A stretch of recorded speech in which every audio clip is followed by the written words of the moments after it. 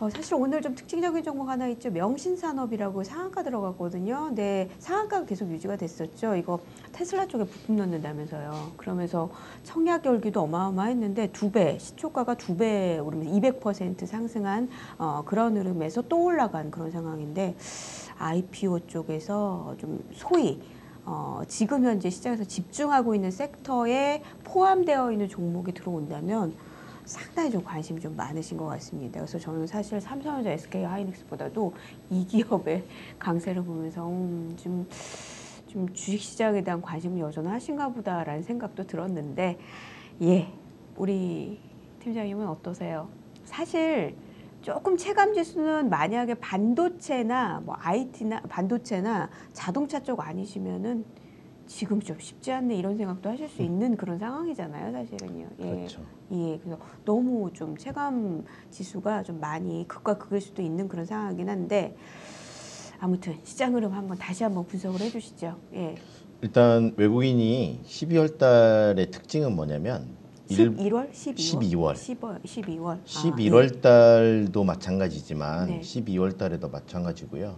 그 일부 종목들 그러니까 반도체하고 자동차 뭐 이런 쪽으로만 집중돼서 음, 어, 순매수를 하고 있고. 예, 어 그거를 왜 왜 그쪽으로만 살고 사고 있고 누가 사고 있느냐 음. 이런 부분들에 대해서 이제 논란들이 좀 많은데 일단 11월 달 외국인의 수급이 한 6.2조 정도가 유입이 됐어요. 네네. 근데 이제 어 얼마 전에 이제 엊그저께 이제 금감원에서 금감원은 이제 매월 이제 시청자분들도 그거 잘 보시면 좋아요. 이게 금감원에서는 음, 매월 초에 네, 지난달 외국인이나 외국인의 증권 투자, 그러니까 주식 투자하고 채권 이쪽에 대한 수급 동향을 각 국가별로 이제 발표를 하거든요. 네, 근데 여기에 특징은 결국 이렇게 보시는 게 뭐 딱 맞지는 않는데 음.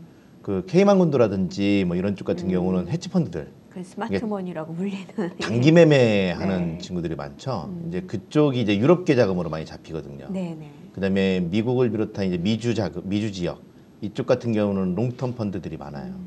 그래서 그 미국 쪽에 자금들이 유입이 된다.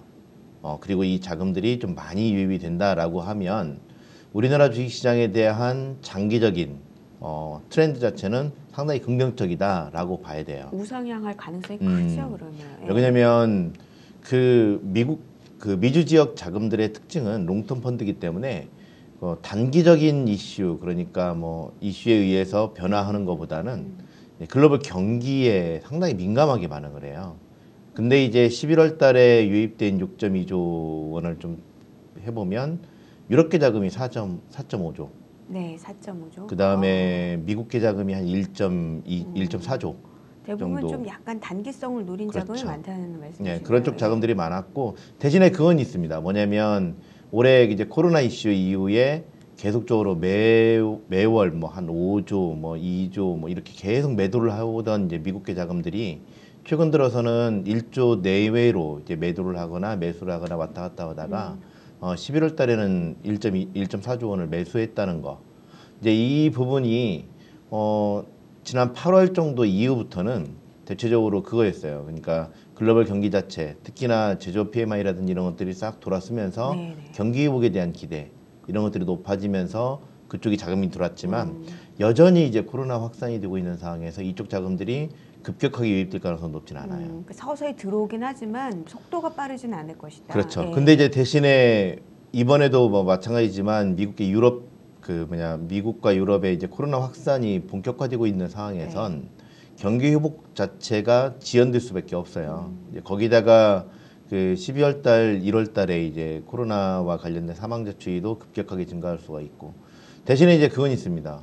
이 유럽계 자금들이 그러면 단기 투자를 그 주되게 하는 네. 이 자금들의 그 흐름이 어느 쪽을 보고 있느냐. 음. 결국은 반도체 업황 개선, 음. 그 다음에 실적이 개선되는 종목군들, 업종군 업종 위주로 해서 적극적으로 순매수를 하고 있거든요. 그게 이제 대체적으로 그 우리나라로 치면 이제 대형주 중심으로 이제 잡히고 잡히고 있기 때문에 지수는 강세를 좀 보이고 있죠. 대신에 이제 선물, 선물이라는 거는 매도를 한다는 거는 우리 시장 전체를 이제 매도하는 거잖아요. 네, 코스피 200을 매도를 하는 거니까. 그래서 시장은 매도를 하고 대신에 특화된 특정된 종목군 위주로 매수를 하고 있는 그게 이제 오늘도 영- 영향을 주고 있다고 보시면 될 것 같아요. 외국인이 보면 전기전자를 좀 팔고는 있지만 네. 대체적으로 이걸 세분화해 보면 반도체 쪽은 매수를 하고 있어요. 음, 이제 다른 것들은 이제 매도를 하고 있는 그렇죠. 거고. 뭐 삼성전자 사는지 특히 SK 하이닉스 사는지 이거 확인해 보면 그렇죠. 되니까 예. 이제 뭐 그런 식의 움직임. 그러니까 특정된 이제 종목군 중심으로 해서 매수를 하고 있는. 대신에 그러다 보니까 그 상, 상승 종목보다 하락 종목들이 훨씬 더 많은 그렇죠. 투자 심리는 상당히 위축돼 있는 그런 모습이라고 보시면 될 것 같아요.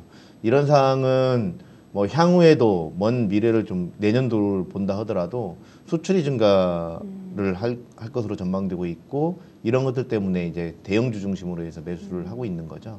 근데 이제 이게 계속적으로 유입되면 좋은데 과연 계속적으로 유입될까 이 부분에 대해서 어, 계속적으로 추적을 해야 돼요. 네. 음. 그러니까 다시 말해서 외국인들이 원하는 목표치에 이들이 왔느냐를 보는 거 아닐까요? 그렇죠. 어떻게 보면은 그래서 이제 외국인들이 계속적으로 순매수를 하는지 여부가 관건인 거고 그 흐름이 12월 달에도 계속 이어진다라면 우리나라 주식시장은 상당히 견고한 모습을 좀 보일 수는 있어요.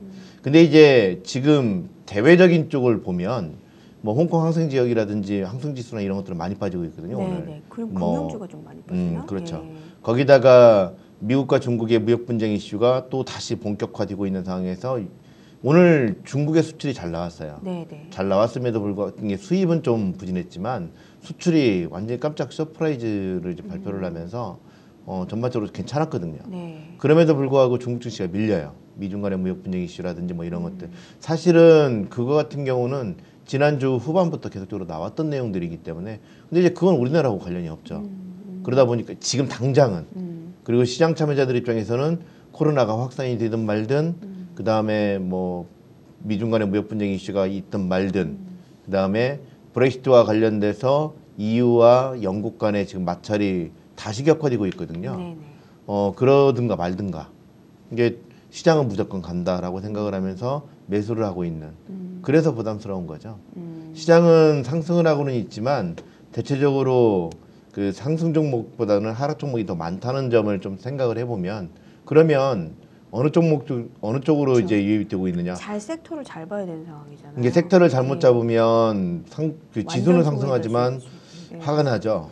근데 이제 뭐 그런 부분들 같은 경우는 결론 나와 있잖아요. 외국인들이 네. 좋아하는 종목들 같은 경우는 실적이 좋아지거나 업황이 좋아지는 음. 종목군 중심으로. 그게 이제 오늘 지수의 상승 요인이라고 보시면 될 것 같아요. 네. 지수의 흐름을 좀 보면 장 초반만 하더라도 우리나라 주식시장이 1% 넘게 상승을 하다가 네. 아, 1% 가까이 상승을 하다가 매물 차익 매물이 나와요. 음, 이게 이게 차익 매물이 나온 거는 아시아 전반적인 네. 흐름이라고 보시면 될 것 같아요.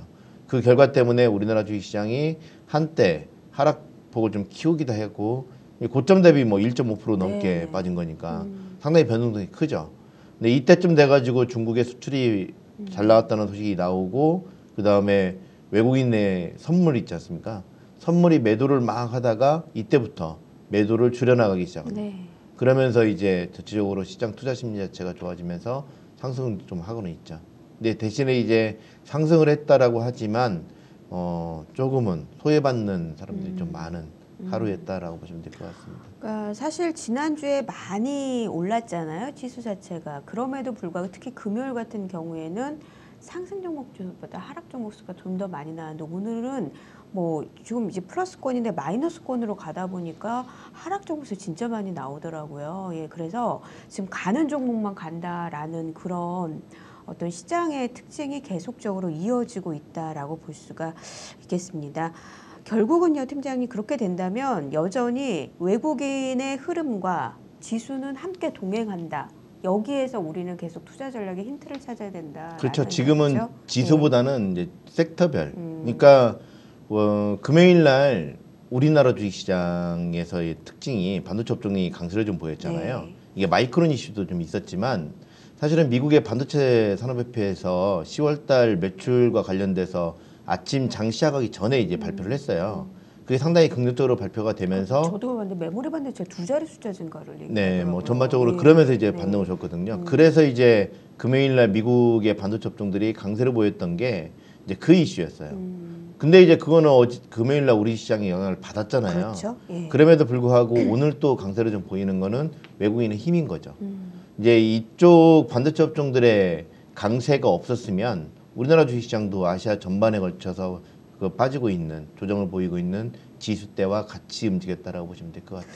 그럼 요거를 돌려 생각을 해본다면은 지금 현재 사실 우리가 상반기 때에는 언택트 종목이라고 해가지고 미국에선 팡 종목이 대표적이었고 우리는 뭐 카카오 네이버 이런 거였잖아요. 실적 잘 나와요. 근데 그거 이상으로 지금 현재 시장에선 가치를 두고 있다 생각을 하고 있는 거고 지금 외국인들이 뽑아내는 뭐 자동차나 IT 같은 경우는 앞으로 괜찮을 것 같긴 한데 그래도 들어올랐다라는 그런 생각들이 있기 때문이라고 생각하면 될까요? 단기 매매인 거죠. 그냥 단기 매매로 봐요. 어디, 어디로 튈지는 모르는. 음, 그리고 또꼭 그쪽만 매수를 하고 있는 건 아니고요.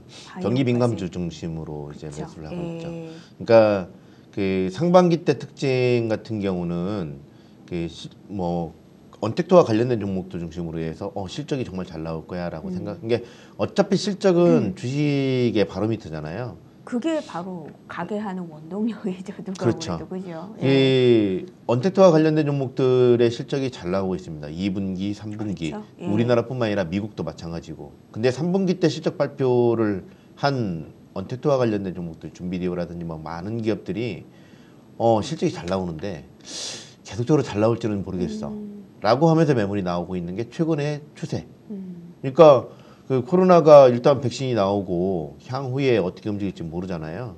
이제 이게 내년도 중후반 정도 넘어가게 되면 이게 다시 이제 줄어들면 그와 관련된 그 컨텐츠가 많이 약화될 수가 있으니까 그럼 실적에 대한 우려가 이게 실적은 잘 나올 수는 있겠지만 증가율 자체가 떨어지게 되면 그쪽 같은 매물이 나오는 거죠. 성장률 증가율 떨어지면 많이 좀 그게 이제. 최근 들어서 네. 미국의 대형 기술주들이 약한 이유라고 보시면 될 것 같아요. 음, 근데 이제 우리나라 주식시장도 마찬가지라고 보시면 될 것 같아요. 이게 언택트와 관련된 종목들 중심으로 해서 강세를 보였지만 이 흐름이 계속적으로 이어지려면 관련된 종목들의 실적 추정치 자체가 여기서 지금보다 더 네. 높아야 되는데 어, 전반적으로 저희들이 이제 분석을 한 거에 따르면 그거보다는 오히려 그동안 완전히 망가졌던 네. 그 경기 민감주 중심으로 해서 증가율 코로나 자체가. 어, 예. 크게 이제 올라오고 있는 그런 음. 상황이라고 보시면 될 것 같아요. 그럼 말씀을 그럼 듣자면은 일단 그런 패턴에서 소위 말해서 경기 민감주에 대한 접근이 오히려 더 바람직할 수 있다라고 전략을 세우고 갈까요? 그렇죠. 지금 당장은 아니지만 지- 최근 들어서 근데 또 많이 올라왔잖아요. 아, 뭐 네. 이 최근 들어서 시장의 특징이 뭐냐면 아 이쪽 괜찮은 것 같아. 그러면은 생각하자마자 움직이지 않으면 순식간에 올라가서 따라잡지를 못해요. 그렇죠. 너무 빨라서 그게 문제예요, 사실. 이게 예. 돌아다니면서 이게 음. 적극적으로 매, 매매를 하는 사람들이 되게 많은 거죠. 음, 그 특히나 해외 헤지펀드 같은 경우도 한번 피리 꽂히면 어마어마하게 거기에 그냥 쏟아붓는 거구나. 예. 그럼 어떻게 따라가세요? 그렇죠. 네. 키움증권에서 펀드 살 땐 누구나 선취 판매 수수료 0원.